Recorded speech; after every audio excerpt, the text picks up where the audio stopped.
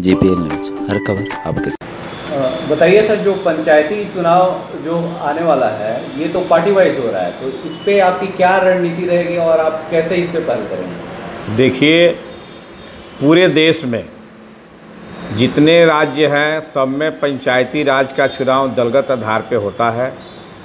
और बिहार में एनडीए की सरकार है। माननीय मुख्यमंत्री श्री नीतीश कुमार जी ने और एनडीए सरकार के बहुतेरे माननीय मंत्रीगणों ने यह विचार व्यक्त किया है कि आने वाला जो बिहार में पंचायती राज चुनाव होगा, वह दलगत आधार पर होगा।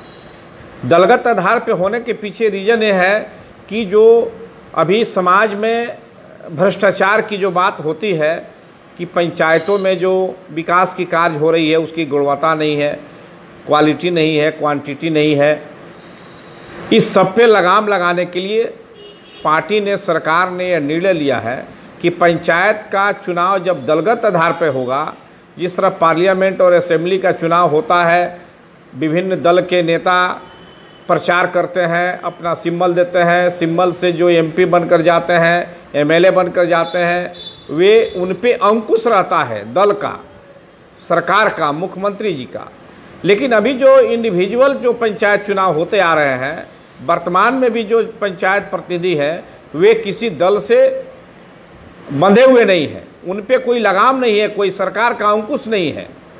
इस आधार पे पार्टी ने निर्णय लिया है कि गाँव स्तर पे संगठन को मज़बूत करने के लिए और ग्राम सभा से जो लोकसभा तक का, वाजपेयी जी ने जो सपना देखा था, उस सपना को सरकार करने के लिए बिहार में जो चुनाव होगा, वह दलगत आधार पर होगा और जनता दल यूनाइटेड गोपालगंज ज़िले में 234 ग्राम पंचायत है 32 जिला परिषद है 300 से ज़्यादा पंचायत समिति है।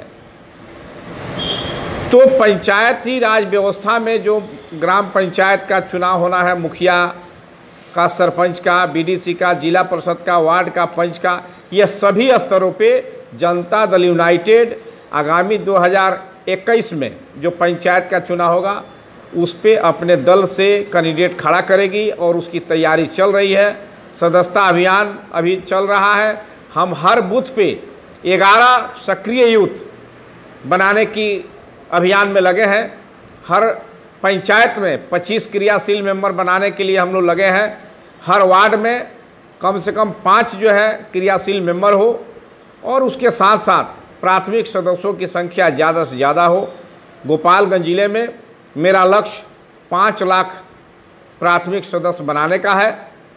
ज़िले की आबादी लगभग 30 लाख है, लगभग 19 लाख मतदाता है।